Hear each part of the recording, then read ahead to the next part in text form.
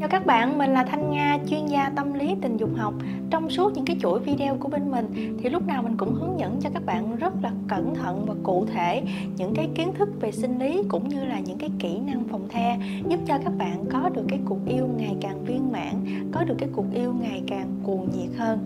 Và trong video ngày hôm nay mình sẽ bàn về một cái chủ đề mà rất nhiều anh em quan tâm là làm sao để kéo dài thời gian quan hệ cũng như là đo lường cái khoái cảm của mình trong cái cuộc yêu đó. À, các bạn biết không hàng ngày bên mình tiếp nhận rất nhiều ca tư vấn về việc các anh bị xuất tinh sớm. Các cái câu hỏi đại loại như là xuất tinh sớm này có chữa được hay không? Xuất tinh sớm thì phải làm sao và làm sao để kéo dài cuộc yêu?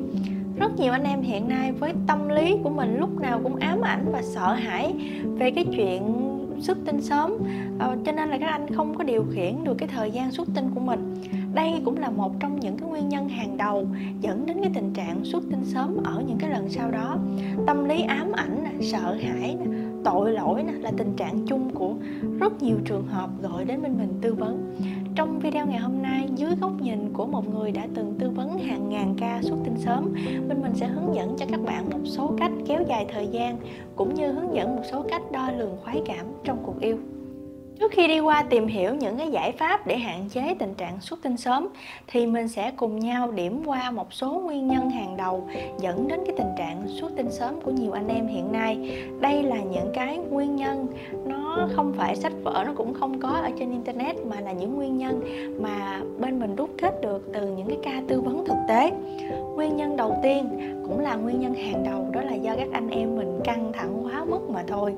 Rất nhiều anh em xem những cái bộ phim 18 cộng á, và thấy những diễn viên nam ở trong đó, họ thể hiện quá xuất sắc họ quan hệ rất là lâu, họ rất là khỏe, sau đó mình tự so sánh họ với mình rồi mình thấy mình không lâu bằng họ mình thấy mình không khỏe bằng họ.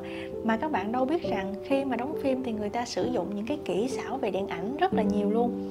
Cái tâm lý tự ti mặc cảm nó cứ vây lấy mình và mình à, làm cho mình ảnh hưởng rất là nhiều đến cái chất lượng cuộc yêu thực tế của mình với vợ của mình rồi một số anh em á, thì mình kỳ vọng quá lớn vào sự thể hiện của thằng nhỏ mà quên rằng cái sự xáo trộn từ ở bên trên này mới là cái điều quan trọng nhất. Những cái áp lực mà anh em hay gặp phải như là thường xuyên gặp phải áp lực về tài chính à, stress trong công việc bị tổn thất về tinh thần là nguyên nhân dẫn đến tình trạng chưa đến chợ đã hết tiền của nhiều anh. Nguyên nhân tiếp theo là do sự sụt giảm về sức khỏe. Nam giới từ 35 tuổi trở lên thì các bạn biết rằng cái lượng testosterone trong cơ thể á, nó sụt giảm một cách nghiêm trọng luôn và cứ mỗi năm thì nó lại sụt giảm một ít từ 1 đến 2 phần trăm và các bạn biết không khi mà cái lượng này nó sụt giảm thì cái sức khỏe sinh lý của mình cũng sụt giảm theo à, nếu mà trong giai đoạn này anh nào mà mình vừa bị gặp phải áp lực nè mình vừa làm việc nhiều nè dinh dưỡng mình không ổn định mà mình lại uống nhiều rượu bia hút thuốc lá nữa. Thì cái testosterone này nó sụt giảm còn nhanh hơn nữa. Và các cái biện pháp tăng cường testosterone thông qua dinh dưỡng và tập luyện là vô cùng cần thiết ở trong giai đoạn này. Bây giờ mình sẽ qua một cái phần mà ờ, rất nhiều anh em mong đợi, đó là làm sao để mình kéo dài thời gian quan hệ, làm sao để mình cải thiện cái thời, cái việc xuất tinh sớm. Thật ra thì cái việc làm chủ thời gian quan hệ hay làm chủ cậu nhỏ đó nó không quá khó như anh em mình nghĩ đâu. Đầu tiên mình phải nghĩ đến vợ mình hay là người yêu của mình trước. À, mình phải làm tốt và làm trọn vẹn cái màn dạo đầu để cô ấy có thể lên đỉnh ngay trong lúc đó các bạn biết không? Khi một người phụ nữ đã lên đỉnh ngay trong màn dạo đầu một lần rồi, thì cô ấy sẽ không quan tâm nhiều đến những cái việc xảy ra sau đó. Cho dù bạn có ra hơi nhanh đi nữa, thì cô ấy cũng sẽ thỏa mãn về cuộc yêu đó bởi vì cô ấy đã lên đỉnh lần một lần rồi. Khi cả hai bạn đã sẵn sàng lâm trận, thì nam giới nhất định phải nhớ cho mình một nguyên tắc. Đó là tử vãng sanh hoàng, tức là khi chết đi vào, khi sống đi ra. Lúc này cậu nhỏ còn mềm. Và nếu mà các bạn đưa vào bên trong cô bé, trong môi trường ẩm ướt và kích thích, trong đó cái môi trường đó bạn biết là nó vô cùng ấm áp và trong môi trường này thì cậu bé rất dễ đạt cực khoái và rất khó cưỡng lại cái việc xuất tinh binh ra bên ngoài. Do đó, khi nam giới thấy cậu nhỏ cương cứng và chuẩn bị xuất tinh binh ra bên ngoài, thì anh em phải rút ra ngay. Lúc này cậu bé được nghỉ ngơi và nó có thể mềm ra một chút. Sau đó mình mới bắt đầu cho cương cứng trở lại và quan hệ tiếp tục.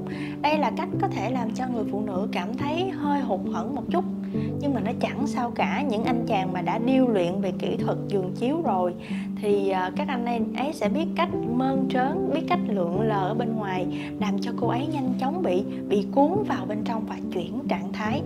Cách này cũng phù hợp với những anh chàng bị yếu sinh lý và xuất tinh sớm.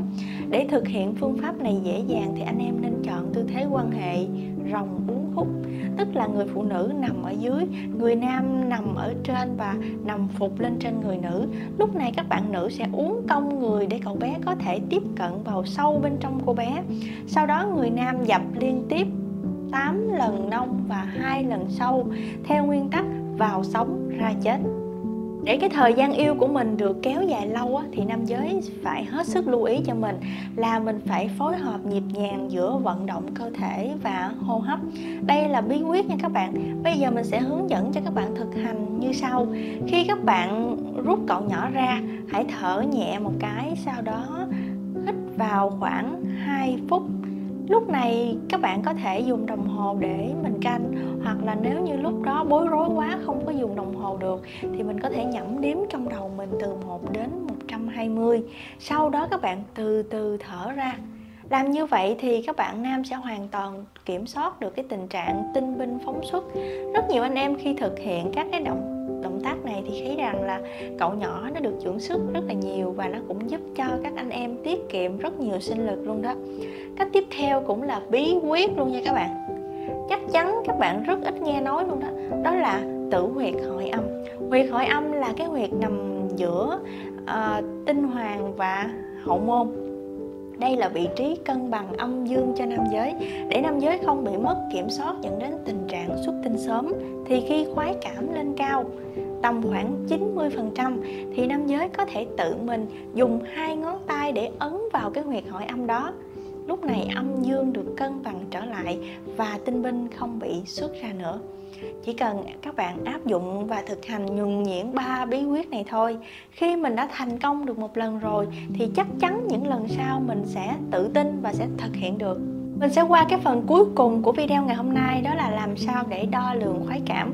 Trước giờ trong đầu mình cứ nghĩ rằng đàn ông họ sẽ đạt cực khoái khi mà họ xuất tinh thực tế không phải cứ xuất tinh là đạt cực khoái và ngược lại không nhất thiết đạt cực khoái là phải xuất tinh. Người ta nghiên cứu rất nhiều về hiện tượng đạt cực khoái ở nam giới và người ta thấy rằng khi đạt cực khoái thì cơ thể nam giới sẽ có những cái biểu hiện như sau. Nhịp tim sẽ tăng nhanh nè, các cơ bắp bắt đầu co thắt lại và đương nhiên lúc này huyết áp của họ cũng tăng lên rất là nhiều. Cho nên sau khi xuất tinh thì à, mình sẽ quan sát thấy là mắt của họ hay có màu đỏ. Lúc này nam giới cảm thấy sung sướng, trỗi dậy một cách mạnh mẽ. Đây chính là lúc mà nam giới dễ xuất tinh nhất về điểm nhạy cảm trên cơ thể của người đàn ông, thì người ta sẽ có ba, người ta thấy rằng có ba điểm cực kỳ nhạy cảm. Đó là vùng da giữa tinh hoàng và hậu môn, hay mình còn gọi là huyệt hội âm, điểm bên dưới đầu dương vật và tiếng tiền liệt. Tiếng tiền liệt nó nằm ở bên trong, nhưng các bạn hoàn toàn có thể kích thích bằng cách so bóp ở bên ngoài, tức là so bóp vùng đáy chậu về cái biểu hiện đạt cực khoái của những người đàn ông thì nó cũng đa dạng như phụ nữ vậy các bạn. Có người phát ra âm thanh đầy bản năng có người thì rên rỉ cũng có người thì không phát ra âm thanh họ hoàn toàn im lặng nhắm mắt để có thể cảm nhận hết được cơn khoái cảm đang đến.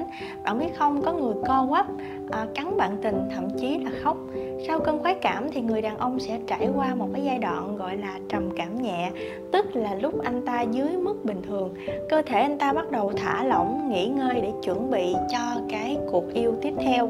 Có người mất vài phút, có người mất vài giờ, thậm chí là vài ngày tùy theo độ tuổi và tình trạng sức khỏe.